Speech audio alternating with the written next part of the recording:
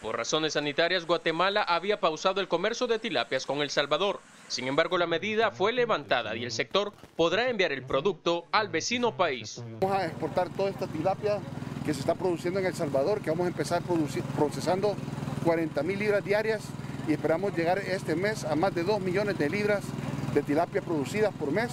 La gente está contenta porque tenían pues ya algo grande los, los peces, las tilapias, y pues ya podían tener pérdidas. Debido a la pandemia, el sector tenía miles de pérdidas diarias y tenían que enterrar el pescado que moría en los estanques. El sector acuícola en el país, eh, ustedes saben, el COVID-19 había, había afectado mucho eh, lo que es a esta industria y pues nos pusimos a trabajar en el ministerio con la gente de Pesca, con los, con los compradores también, porque aquí quiero decirles que aquí están los compradores que todo este producto, el 75% se exporta. Los productores se mostraron agradecidos por las gestiones del gobierno.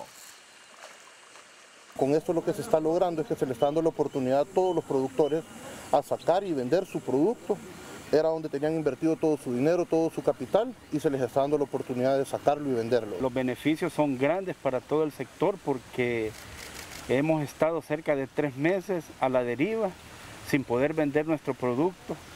Y con este anuncio que hace este, esta mañana el señor ministro de Agricultura, da oxígeno a todo el sector productor del país. El funcionario también dijo que buscará implementar una fábrica para aprovechar todos los recursos que provee el pescado, como aceite y harina. Para Teleprensa, Canal 33, Luis Muñoz.